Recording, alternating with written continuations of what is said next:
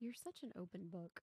So it's really hard for me to ask you questions that and it's just I don't ever want to feel like I'm being intrusive or ask you something that's not appropriate. Um I don't ever feel like you're intrusive. Thank you. And my level of respect for you is so incredibly high. in our level, my level of respect for our relationship. And I've made the mistakes in my past that I don't ever want to take what we've got for granted. So to feel like I need to ask a question to me is intrusive because I truly just accept what you're willing to give me as the truth. Yeah.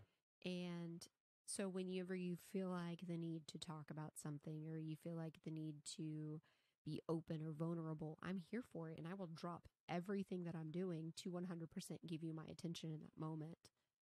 I just have a hard time struggling with what should I ask? Which is why we have the conversation cards. They're not for you, they're for me because I don't know how to ask and communicate.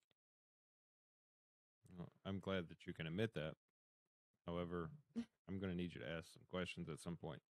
I can't always ask all of the questions. I'm going to run out of questions. I don't think you will. You know, And I think my statements will intrigue more questions for you. It's just the way you work. The children are finished with um, our podcast. well, that doesn't mean we are. I know. Um, how do you?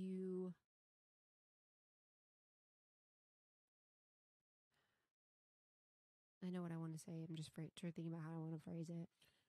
Just say it. and don't worry about how it comes out.